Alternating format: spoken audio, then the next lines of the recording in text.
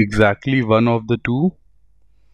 So this is 8 12 this is 15 this is 8 and this is 16 this turns out to be 3 4 7 11 exactly 1 is 15 plus 16 31 you know only stocks and this is only real estate.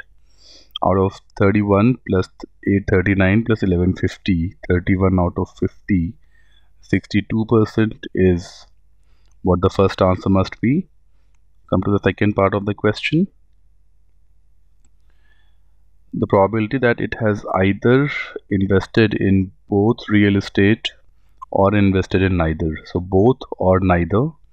Both is 8 neither is 11 so 8 plus 11 19 upon 50 that would be 38 percent 8 plus 11 upon 50 that's 19 upon 50 38 percent. That's the right answer.